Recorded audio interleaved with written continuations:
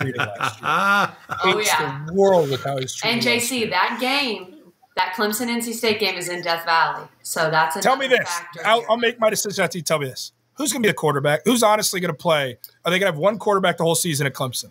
no, no way. Who's going to start the first so. week?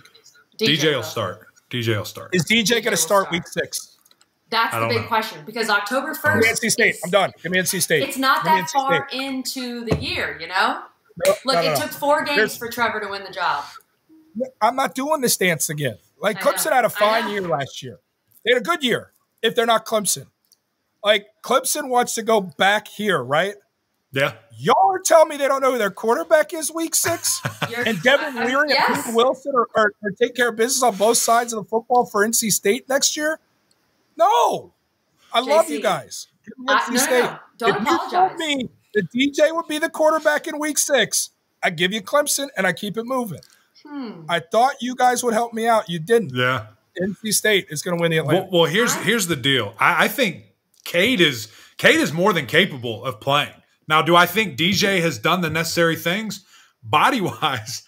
We saw I saw a freshman beat Alabama 44 to 16. The best But that was Alabama Trevor team ever. Who was that freshman? It's Who was that Trevor. freshman? How do we know Cade won't be the same thing? How do we know that? It's a little Because different. you just said, I think we know. how do we know? We don't know. We I didn't know that week one of Clemson in 18 because I thought Kelly Bryant was going to ride it out. We didn't know that.